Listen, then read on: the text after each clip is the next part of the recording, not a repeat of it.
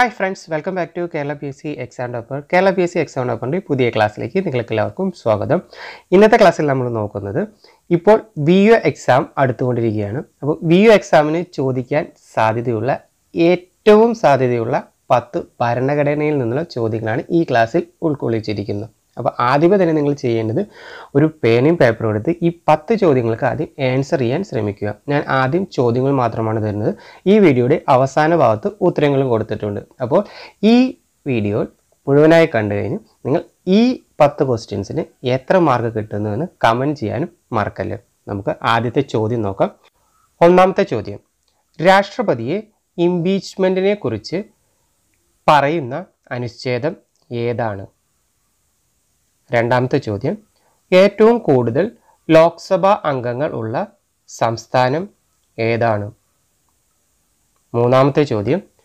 Attorney ജനറലിനെ നിയമിക്കുന്നതും തൽസ്ഥാനത്ത് നിന്നും നീക്കം ചെയ്യുന്നതുമായ വകുപ്പ് ഏതാണ്?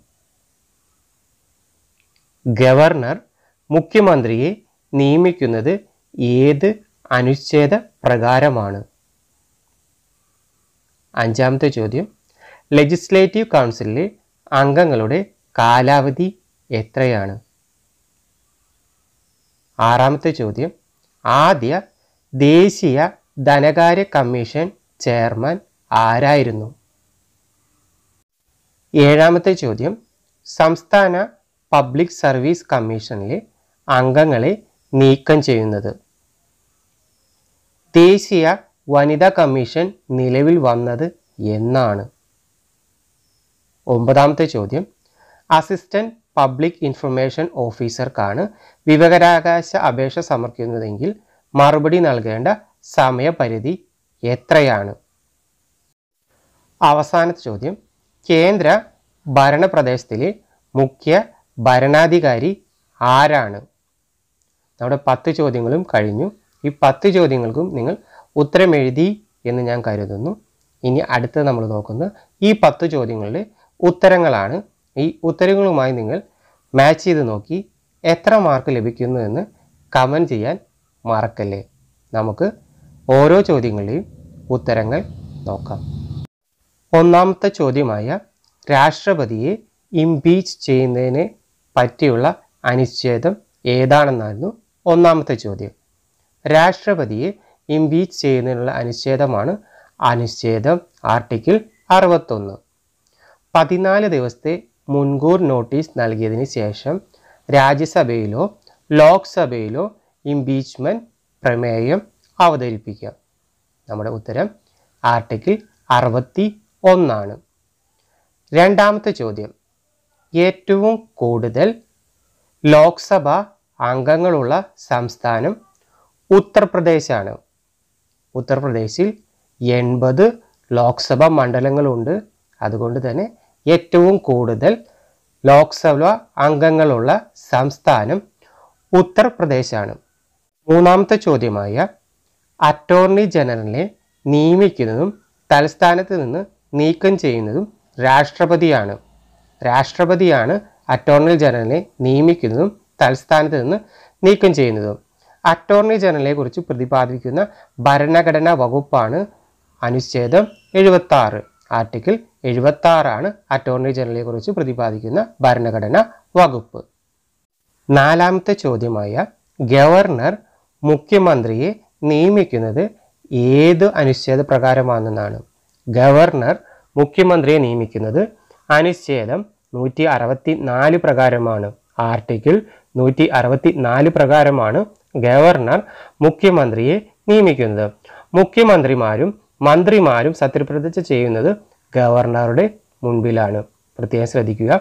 മുഖ്യമന്ത്രിമാരും മന്ത്രിമാരും സത്യപ്രതിജ്ഞ ചെയ്യുന്നത് ഗവർണറുടെ മുമ്പിലാണ് അഞ്ചാമത്തെ ചോദ്യം. ലെജിസ്ലേറ്റീവ് അസംബ്ലിയിൽ അംഗങ്ങളുടെ കാലാവധി എത്രയാണ്? ലെജിസ്ലേറ്റീവ് അസംബ്ലിയിൽ അംഗങ്ങളുടെ കാലാവധി ആറു വർഷമാണ്.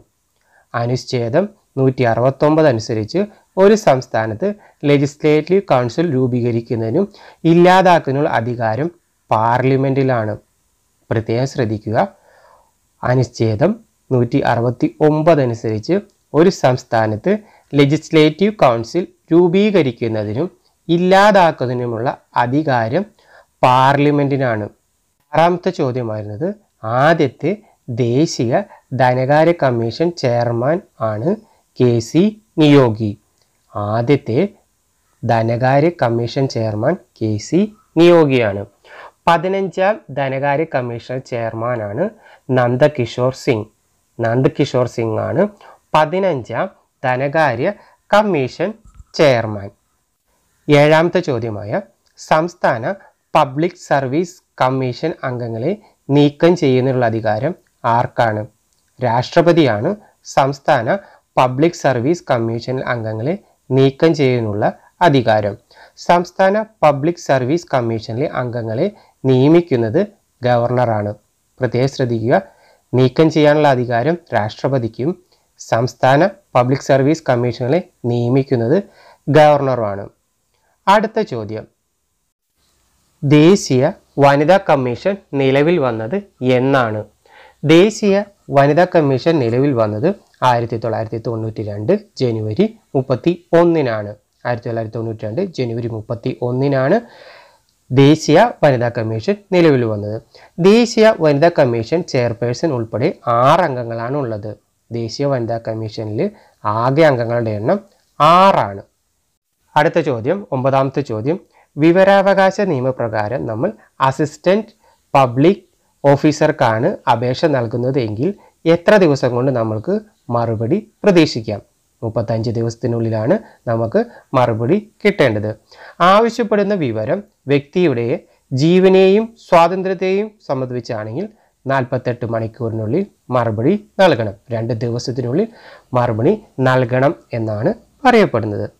അവസാന ചോദ്യം. കേന്ദ്ര ഭരണപ്രദേശത്തിലെ മുഖ്യ ഭരണാധികാരി ആരായിരുന്നു എന്നാണ് നമ്മുടെ പത്താമത്തെ ചോദ്യം. കേന്ദ്ര ഭരണപ്രദേശത്തിലെ മുഖ്യ ഭരണാധികാരി lieutenant ഗവർണറാണ്.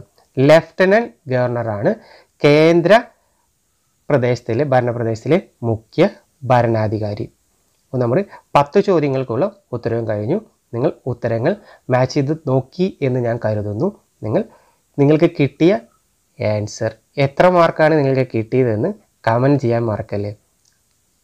Thank you friends thank you for watching Kerala P S C exam topper നിങ്ങൾ ഇതുവരെ Kerala P S C exam topper എന്ന ചാനൽ സബ്സ്ക്രൈബ് ചെയ്തിട്ടില്ലെങ്കിൽ please subscribe and press bell icon for for all new video notification ഈ channel ഞാൻ എല്ലാ ദിവസവും P S സിയുമായി ബന്ധപ്പെട്ട videos update ചെയ്യുന്നതാണ്. ഈ വീഡിയോ നിങ്ങൾക്ക് ഇഷ്ടപ്പെട്ടെങ്കിൽ പ്ലീസ് പ്രസ് ലൈക്ക് ബട്ടൺ ഇഷ്ടപ്പെട്ടില്ലെങ്കിൽ നിങ്ങൾക്ക് ഡിസ്ലൈക്ക് ചെയ്യാവുന്നതാണ്. അതുപോലെ തന്നെ ഈ വീഡിയോ നിങ്ങൾ മറ്റുള്ള ഫ്രണ്ട്സിനും ഷെയർ ചെയ്യാൻ മറക്കല്ലേ. ഈ വീഡിയോ പറ്റിയുള്ള നിങ്ങളുടെ കമന്റ്സ് കമന്റ് കോളത്തിൽ രേഖപ്പെടുത്തുക. Thank friends thank for watching Kerala P exam topper